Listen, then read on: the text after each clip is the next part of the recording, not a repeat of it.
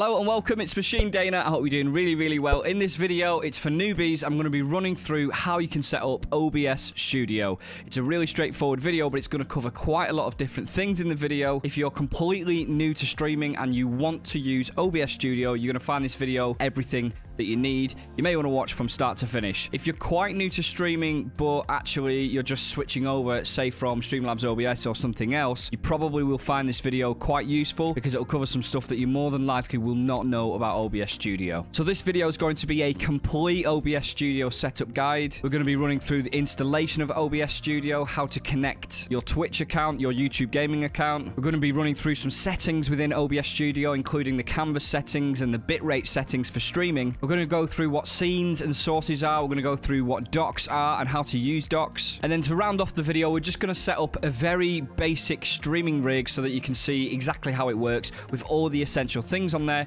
including alerts, a couple of widget browser sources that are available just to give you a flavor of what can be done with OBS Studio. And of course, the displays and the webcam and all that sort of stuff will be set up in OBS Studio as well. So yeah, we're covering quite a lot. I'm going to try and squeeze it in a shorter space as possible. If you do find it useful, if you're brand new to streaming, hit the like like and don't forget to subscribe to the channel and let's go.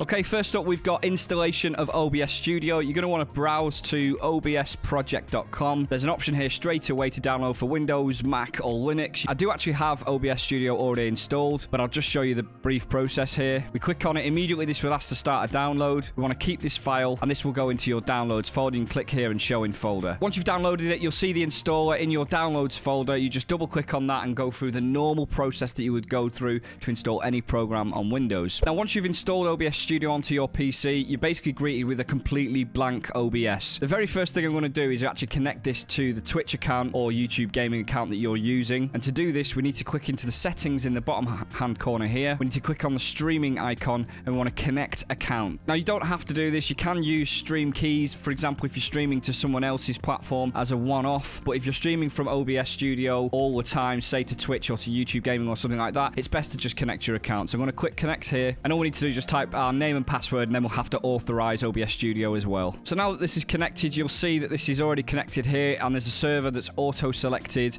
So you, basically, you can choose to select a specific server if you want, but normally it's best to just choose auto as recommended here. If you're using a VPN here, it might just cause some complications, so you may want to select a specific server for you. I've already done a much more detailed video on the best settings for Streamlabs OBS, which was very much applicable to OBS Studio. So I'm basically just going to link that video up there so you can look into that in a little bit more detail but there are some key settings that I'm just going to go through right now just to make sure that you're on the right line so you don't have to jump away. But if you find you're getting jumpy streams and that sort of stuff or performance issues, check out that video. Now, the bitrate you can actually have up to 7,800 or, or 8,000 for Twitch. I believe it's 10 or 12,000 bitrate for YouTube gaming. Although they state that you're allowed up to 6,000 kilobits per second on Twitch. I've set mine to 7,800. I know that works pretty well for me, but you'd be safe setting this to 6,000 for kilobits per second. And this is your upload speed from OBS Studio, your computer, your PC, all the way to Twitch. And you just need to bear in mind about kilobits per second. The upload speed of your internet needs to be able to manage this. So for example, if you've got an upload speed maximum in your whole household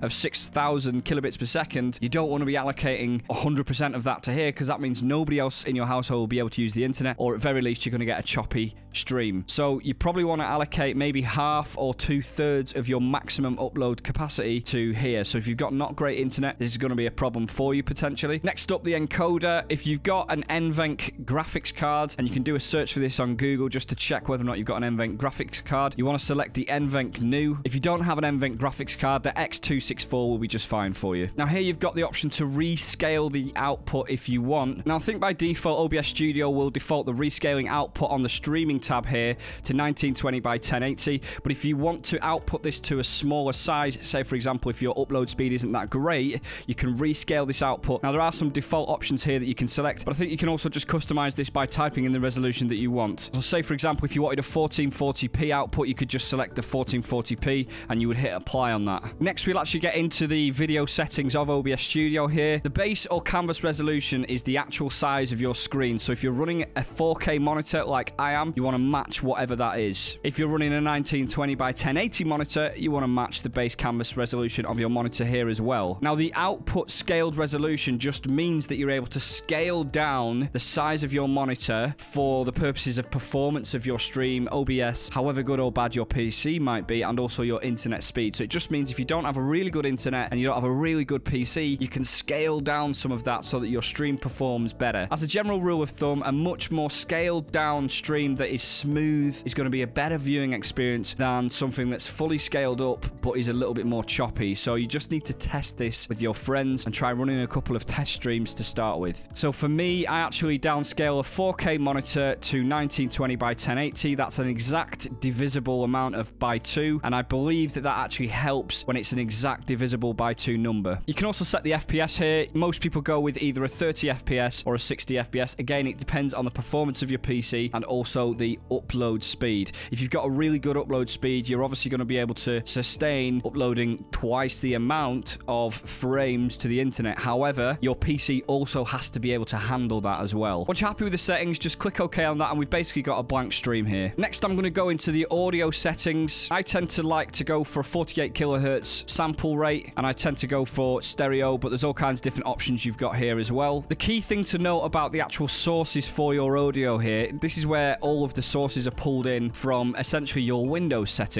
So these options here are detected from your Windows settings. Now, if you want, you can just leave these as the default options and it will already pick up what your headset is, what your base microphone is, and all that sort of stuff from your Windows settings. And you can check this by right clicking on the speaker icon in the right hand corner and going into sound settings. And you can see here, you can choose your output device. So this will be your default output device and this will be your default input device, essentially your microphone. So essentially desktop audio is going to be whatever it is that you want your audience to hear. Now there are a million different ways that you can do this. So I'm just going to keep it the most simplest method, but do some more research if you've got a more complicated audio setup. You want to set your desktop audio typically to your headset. So for example, for me, that'll be my Corsair headset. And that means everything that I hear, the stream will also hear because it will come through then. Don't worry, you can adjust the volume of this once we're in OBS Studio as well. The mic or auxiliary audio, we want to just select whatever the microphone is. Now, you may already have a microphone. It might be the one that's on the headset, in which case select the headset microphone, or you might have an external device, for example, like a HyperX Quadcast or a Fifine microphone or something like that. You just need to select that microphone here and it should come through. Now, what that will do is add all of your audio devices to this audio mixer that appears here by default. Now, you can choose to adjust the volume of these against each other by literally sliding up and down these sliders. And you can see here when I pulled this down, the audio level went quite considerably lower. Now, if I leave this at max, I'm actually seeing it's just slightly peaking into the yellow zone and it's slightly dipping into the green zone, and that's about perfect. If it's going into the red zone, the chances are it's going to be hurting the ears of your viewers. And if it's really far down here, chances are your viewers are not going to be able to hear you very well. Now, this goes for both your microphone and also your desktop audio. And as a general rule of thumb, you want your desktop audio to be about 20 to 30% lower than your microphone. So that means your microphone, your voice, and your commentary takes priority over your desktop audio and your gameplay. You do not want your viewers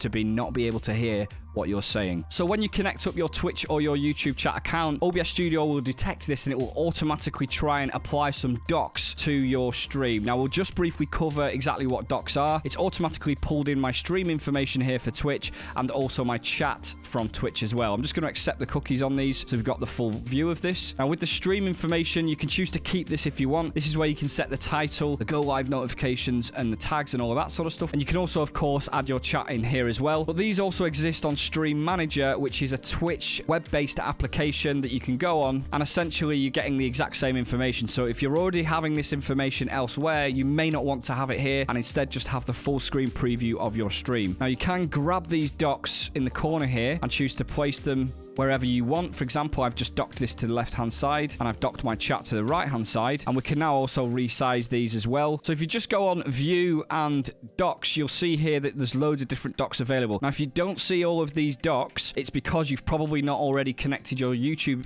gaming account or your Twitch account or wherever it is that you're going to be streaming because this will only show the docks that are available to you currently. And the same goes for any plugins that you apply to OBS Studio. You will not see the docks here until you've installed that plugin and it essentially becomes available as a dock. And obviously that makes pretty good sense for an open source software like OBS Studio. So now I'm just going to briefly run through what are scenes and sources. So essentially what a scene is, is a collection of sources, and we'll get into sources in a second, but a scene will be a collection of different sources that you've manually added into your stream to essentially create some sort of scene that you can then stream from. For example, it may be a be right back screen. That would be a scene that shows some animations perhaps or something like that that essentially are telling the users that you are not there at the moment and that you will be right back. And you're essentially adding different sources to that to create a really nice looking functional way of streaming to your viewers. The types of scenes that you normally get are things like an intermission screen where you can chat to people. You can also have of course the main gameplay scene displaying mainly the gameplay and perhaps you've got a webcam in the corner. Then a lot of people choose to have like an ending scene, a starting scene and a be right back scene. But the beauty about scenes is you can literally customize them as much or as little as you want to and people tend to get really creative with the types of scenes that they create. Conversely, sources are actually the different elements that you would put into a scene. For example, the webcam or the display capture or the monitor capture or an application capture. It might be some audio visualizer. It could be a widget that's doing like a goal, alerts and labels. These are all different sources. So basically sources of data that you're pulling into a scene to build a scene. Now, in terms of the types of sources that you've got available to put into a scene, I could just click the plus icon here. Now, I actually have two or three plugins installed, so I've got more different types of sources available to me through OBS Studio plugins, but most of these are available through the base version of OBS Studio. For example, an audio input capture. So if you don't want your default audio to be on a certain scene, you can add a specific audio capture for a specific scene. Browser sources are used widely by all kinds of different third parties to pull in animations and interactivity into streams. You've got images, other media sources like movie files and MP4s and stuff. You can even bring in a scene as a source. So if you've got a whole nother scene somewhere else, you can bring that in as a source and display it on your new scene. You can bring in text files, video capture devices like a webcam, and all that kind of stuff. And the way that you create a new source or a new scene is you simply just click on the plus icon here and then select what source you want to add. Or if we're adding a new scene, we want to click on the plus icon here, give the scene a name. For example, gameplay, click OK on that, and we've got another scene available, and we can build the assets up in this scene. So what we're going to actually do here is just create some basic scenes and sources just to get you started and to give you a flavor of what can be achieved in OBS Studio. So now that I've got my gameplay scene that I've already set up here, I'm going to add a display capture here. So I'm going to click the plus icon. I want to add a display capture, and I'm going to call this my 4K Asus. Click OK on this. Now straight away it's detected my 4K monitor, but if it didn't do that, we've got a, an option here because we've got it set to automatic. There's different options to select, but we can select a different display that it wants to capture. For example, if I wanted it to capture a different screen of mine, I can do that. I'm happy that this is capturing the correct scene here, and we can choose whether or not we want it to capture the cursor as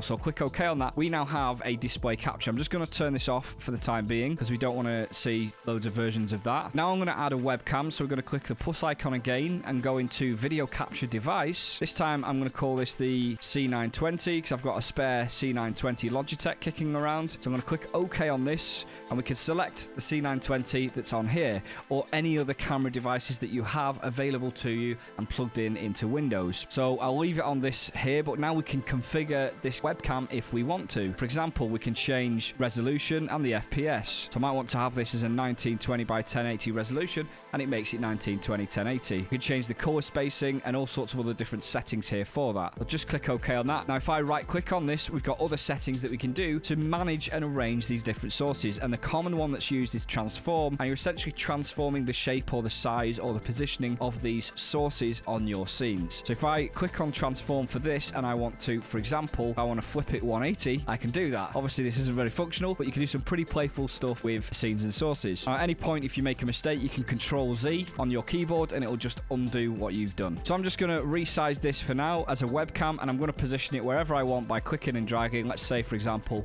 I want to position it there. Now, bear in mind, if we now click this eyeball icon, we've also got the display capture as well. We've essentially got here the most basic form of a stream available with a webcam and a display capture. Now, some nuances here. I'm actually also going to add a game capture. Now, the difference between a game capture and a display capture, a display capture will capture everything on that specific screen, no matter what you've got on there. Any browser, any mouse activity, everything. Whereas a game capture will only specifically capture something that you choose it to capture, like a specific application or more commonly, a game. So if I just call this game capture, leave it as the default, click OK on that. Now we could choose to capture any full screen application or you can capture a specific window and I can select the window that I want it to capture. Now, in most cases, having capture any full screen application will work for you. But if you find you're having trouble with this, just switch to capture a specific application and select the window that you want to capture. Now, the reason why this is important is because if OBS Studio is only capturing the display from a specific application versus everything else that you might have somewhere on your screen, it actually increases the performance of OBS Studio because it's only capturing one application and trying to render and display one application. Now, what I see a lot of people do is actually having both of them on screen, which is absolutely fine. You just want to make sure that you haven't got both of them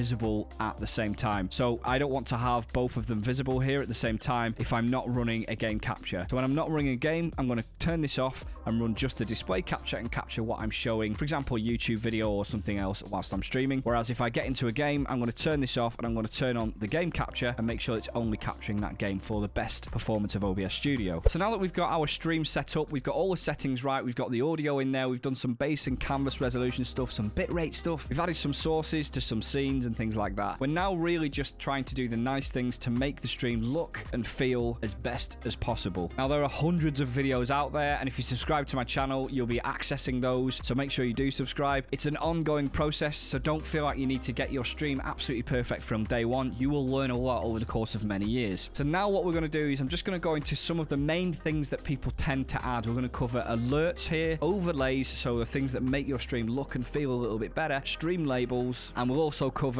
some widgets and goals as well. Now, there are loads of different companies that provide stream overlays for your stream, and they're quite easy to install. But I'm actually in Streamlabs' library here. You can visit Nerd or Die, Own3d.tv, Visuals by Impulse. There's loads of different companies that provide stream overlays. You just have to scout around on Google. There are a few different ways that you can install the overlays. One way that you can do this is by actually installing the overlay to Streamlabs OBS and then importing it into OBS Studio. I actually have another video about this, so I'll link this up here. It's just a quick and easy way to install overlays and it'll do all of the work for you. Now, this is particularly good if you're using something like Streamlabs because essentially it will just import everything and do the work for you. However, if you're not using Streamlabs and it's something like Nerd or Die or whatever, follow the specific instructions that the platform that you're buying from give you. Now, sort of annoyingly, Streamlabs doesn't have a way that you can just download these themes and then install them directly to OBS by selecting the different elements and uploading them. But to be honest, that's actually quite a longer process anyway. So actually, sometimes it's better to just install it into Streamlabs and import it over. Now, this particular overlay that I've selected is a Streamlabs Prime overlay. I happen to have a Streamlabs Prime overlay that's running out in about six months' time. If you do want to have Streamlabs Prime, use my link below. The affiliate link will get you money off Streamlabs Prime. You literally get it a lot cheaper if you use that link, and all you have to do is click the link. So I'm going to follow the instructions in the video that I linked to install this into OBS Studio. So it's taken me a couple of minutes, but one of the main benefits of installing something into something like Streamlabs OBS and then moving it over to OBS Studio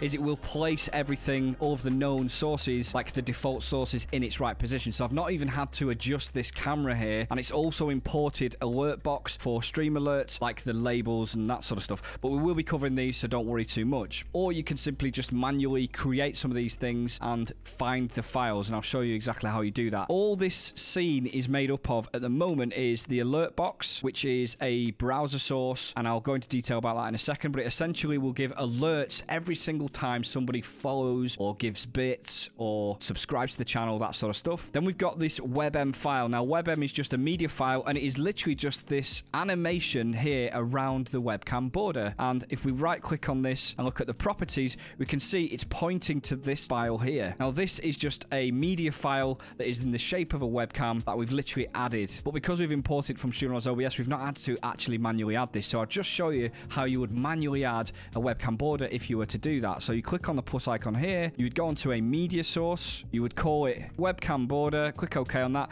and then we're just going to browse to wherever that file is located. Now you just want to make sure that you're clicking the loop icon because that means that the webcam will loop the media file. If you don't do that, it will play the full animation and then it will basically turn off the animation or freeze the animation if that makes sense. So you want to make sure that for something like that, you want it looped and we just click OK on that and that will add whatever that media file is.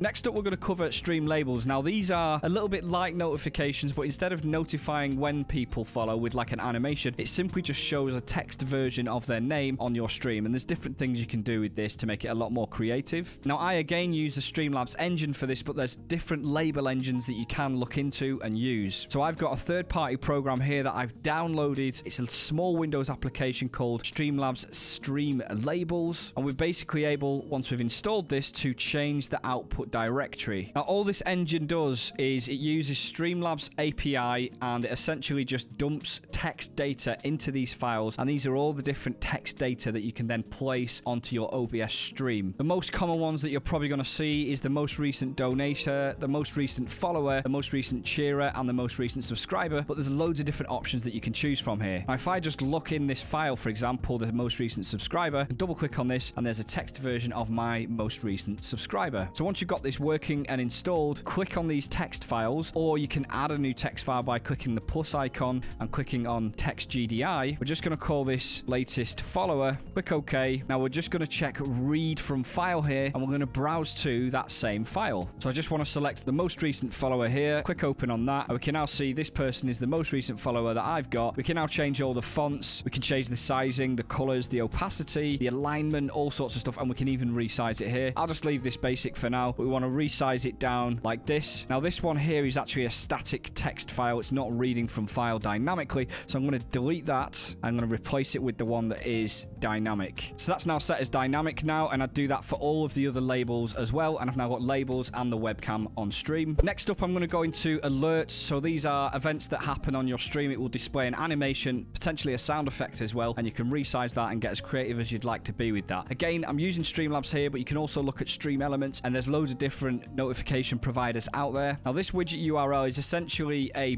browser source. So I could literally paste that URL here and it would show on a browser exactly what the content is. But obviously, the content only appears when there's a notification that comes through. In other words, when someone follows or when someone gives bits or donates or whatever. But what we can do here is use the test follows. So what I'm just going to do is copy this URL. I'm going to leave everything as default now, but just to say, I do have a much more detailed video about Alertbox, so check out the link above for that particular video. But essentially, you can customize absolutely everything about this. The fonts, the size, the timing of it all, the volume, the animation, everything. But what we need to do is copy this widget URL. There's a button here just under my camera called copy URL. You can't see it, but I'll click that button and it's copied the widget URL to my clipboard. Now we go into OBS Studio. Now we're going to click the plus icon. I'm going to click browser to add a browser source. I'm going to call this alerts and click OK on that. Now it will just place a normal placeholder here, which is just an OBS image. We need to paste that browser URL here and click OK, and it will display those alerts. Now I can resize this and position it wherever we want. For example, right click, transform, and we'll center this horizontally. It will put it perfectly in the middle of the screen. Actually, maybe we want it a little bit bigger and just do the same again. Now what I can do is go back into the alert box here and do a test follow. So I'll click this test follow button here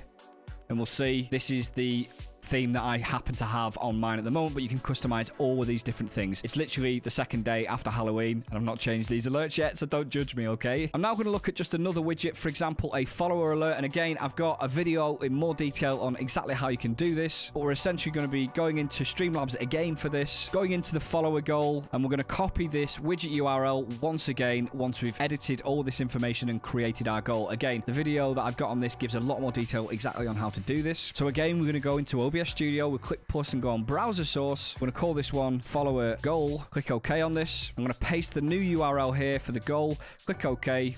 And the goal will now appear. Now I'm just going to resize this and put it somewhere a little bit more logical. And there you go. Now we've got a stream goal, and this will update every single time that someone follows or whatever it is that I've set my goal to do. The final thing to do really is just to show you the different scenes that are actually available that you can use here. Obviously, I'm just here in like a game capture screen, so if I turn on the display capture here, it will show whatever it is that I'm doing at that moment in time. But if we go into the starting soon, we can see all kinds of different scenes that we've got here from those overlays that we downloaded. And again, these are really, really simple. We've got alert box that's added on here as well. It's just an animated MP4 using the plus icon, adding a media source and browsing to that file. But again, here, if I wanted to, I could add some labels here that add my Instagram or my Facebook page or something else. Here's the ending scene. Here's the be right back scene. And we've got the intermission scene as well. So we could put our camera in here. I'm just going to add a video capture device. I'm going to add the existing video capture. Click OK here. Now, obviously, it's put this in the wrong place. But another thing to bear in mind, the sources will display in the order that they're displayed in. So the video capture device is at the top of the sources list, meaning this will override everything else that's underneath it. But if I drag this to the bottom, you'll see all of a sudden it will put it to the bottom and these other files will be above it and they will display above it. So we need this to be at the bottom level here because this is a PNG file that's essentially got transparency in this area here and we'll just drag this out and that looks nice and clean there. And if we wanted to, we could add a browser source for a chat panel here and the display capture here for the gameplay that we're using. Okay, so that was the full and comprehensive guide on how you can set up OBS Studio for complete beginners. Hopefully you found that really useful, at least parts of it really, really useful. If you did, don't forget to hit the like button because it really helps me out. I really appreciate it. And yeah, take care. Have a good day.